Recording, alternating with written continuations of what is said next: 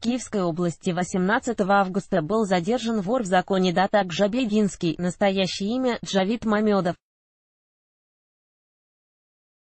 Об этом в Facebook сообщил первый заместитель главы национальной полиции Украины, начальник криминальной полиции Вячеслав Абраськин. Этот турист задерживался и ранее правоохранителями Киева и Львова в мае текущего года, и по нему уже принималось решение о выдворении с территории Украины с запретом въезда на три года.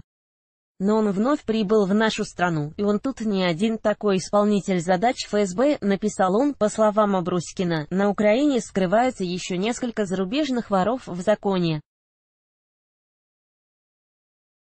Если кого-то и не сможем посадить за решетку, то точно сделаем все от нас зависящие, чтобы вышвырнуть их из нашей страны, заверил замглавы нацполиции. К своей публикации он прикрепил видео, на котором запечатлено про задержанного, его лицо полностью скрыто, однако на фотографиях замазаны только глаза.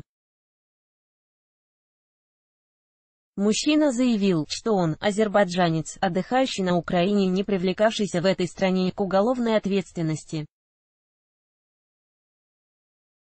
На вопрос о том, является ли он вором в законе и чтит ли воровские традиции, задержанный отвечать отказался.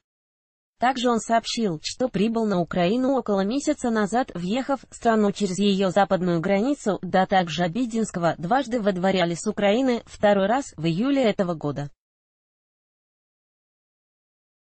После первого выдворения ему на три года запретили въезд на украинскую территорию. Больше важных новостей в телеграм-канале «Лента дня». Подписывайся.